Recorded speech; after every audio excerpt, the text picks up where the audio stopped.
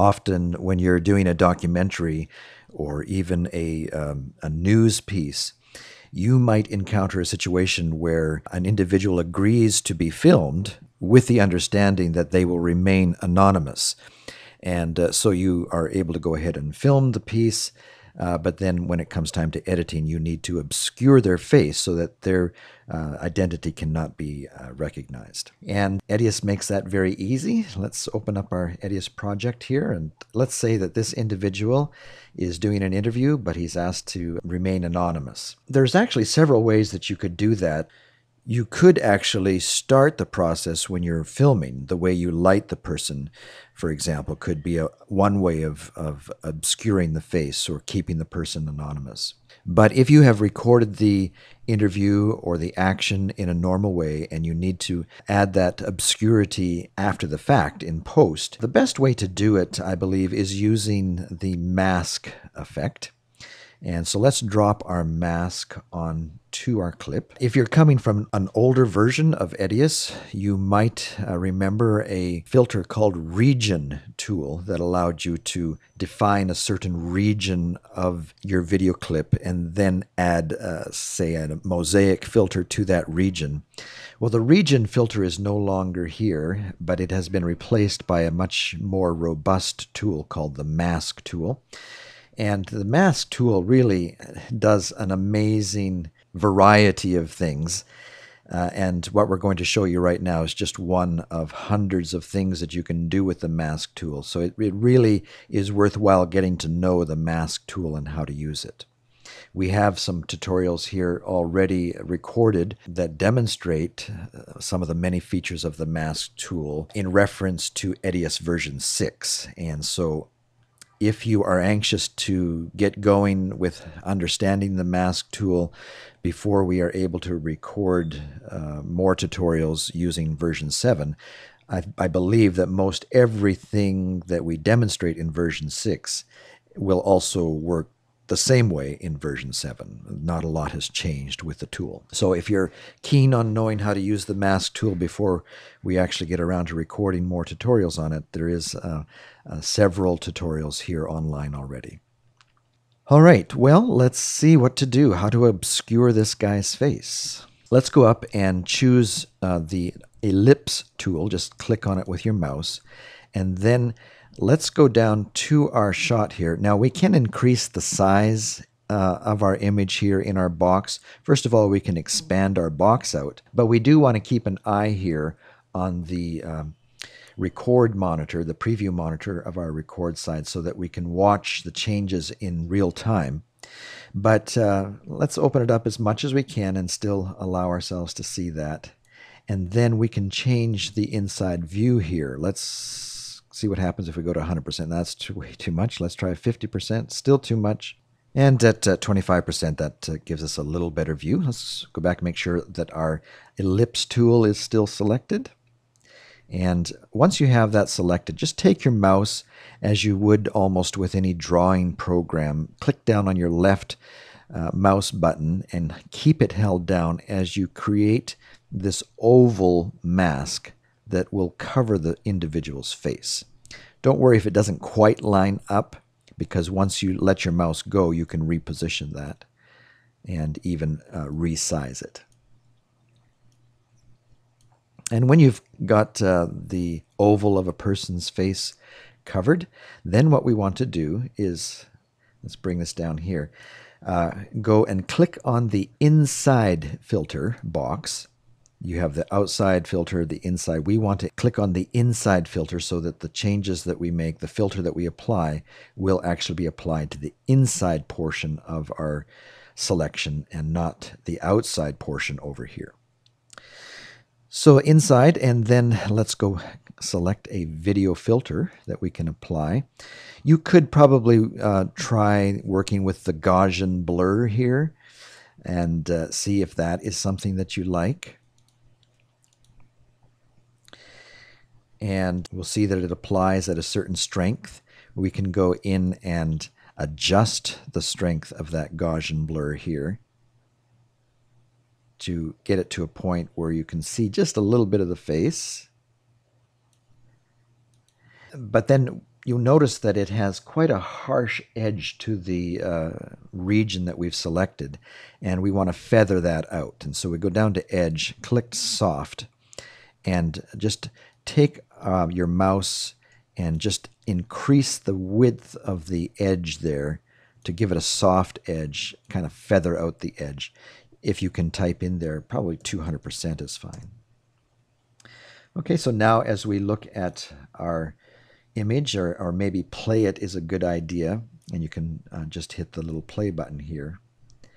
Sometimes what might look as being perfectly obscured in a still may not necessarily be enough blur. Keep that anonymity all the way through the interview, uh, especially if the person is moving their head a little bit.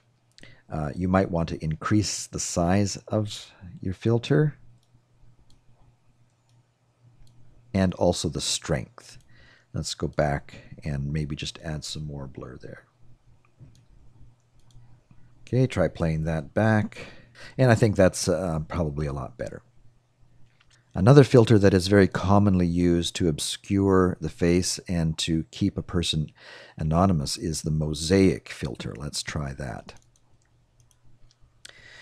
You'll see that by default it's probably not enough of a mosaic. So we need to go back to our filter and uh, add some more mosaic to that. And as you slide this across, you'll see that uh, uh you can uh, find a point there where you can still see quite a bit of the face, you know, maybe the eyes, the mouth, but still keep the person anonymous.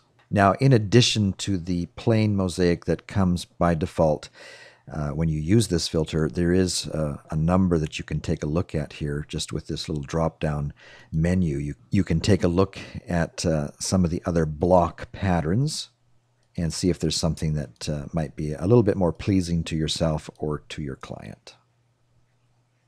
Okay, and then again, you can uh, strengthen that up a little bit and, uh, if need be, add more softness to the edge of that.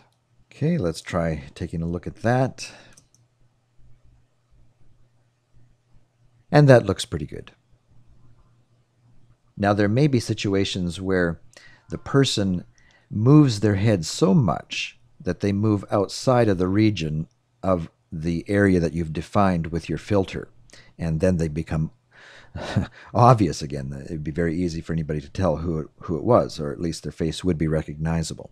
So if you have a situation like that, like for example, let's say we were obscuring this man's face here. Let's do another quick uh, filter on this one. Close out of this and go after our mask tool again. Drop it on this clip and open up our mask tool.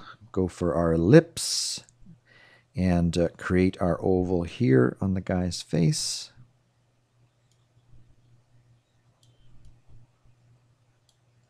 and add our inside filter. Let's use the mosaic filter. I think that's probably the most common one that's used for this purpose.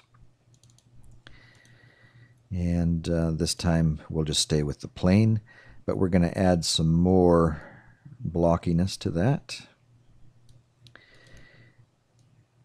And we will then also add some softness. Let's just add 200. Might not need as much this time because our oval is uh, smaller, but that looks not too bad. And then let's notice what happens as we play this clip. Even though he is anonymous at this point, when he reaches forward to get some more vegetables, we see that his face has become completely recognizable. So, what do we do in a case like that? Well, uh, let's go back into our tool. Now, you'll notice down here uh, there's this little inside timeline playhead. And as we scroll this across, uh, we see that the, the playhead cursor on our timeline also moves in correspondence to that and goes all the way to the end of the clip. And having this timeline displayed inside of your filter means that you can apply keyframes and adjust how the filter is applied over the length of the clip. And uh, the way that we do that is first of all, let's take our cursor and position it at the very first frame of our clip. And then let's go over here to this box and click on mask. And then let's click on this little diamond here, the key add keyframe. And you'll see that that adds a keyframe to every one of our options here. We probably don't need all of these options, but it's just, I find easier just to click them all. Okay, and then let's uh, slowly uh, take our playhead across and watch the person's head. And as we see, just before we see him start to move, let's add another keyframe list here, another list of keyframes. That means that in between these two rows of keyframes, that mask is going to stay completely uh, where we placed it to start with. But now, as the person begins to move, and he seems to kind of hold his position right about there. So as he reaches that position, we could add another row of keyframes and then just go up to our mask and uh, bring it over. Now, as we play our, our playhead back, we see that this mask is going to follow him as he leans forward. And if it's not following quite fast enough, if there's a, a frame or two there where he gets ahead of it, well, I don't think he does. Let's play it up here. Well, he does move out of it just for a few frames there, so we might want to just grab a hold of that and, and slide it to the left a little bit so that it moves just a little faster. And I think that that works better.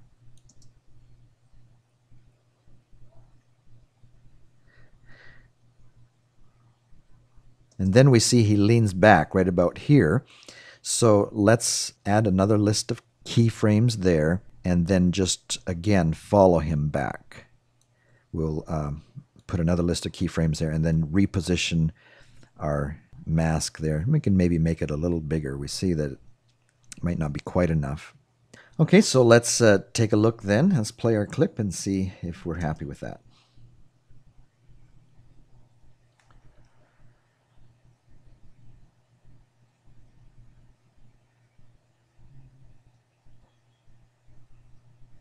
And if at any point uh, you start to recognize the face, of course, you can go back in and change the intensity or the strength of the mosaic. We see that if we were playing it this long, we'd have to uh, make some adjustments there at the end. All right, well, I think that that uh, about does it for how to protect a person's identity in your documentary.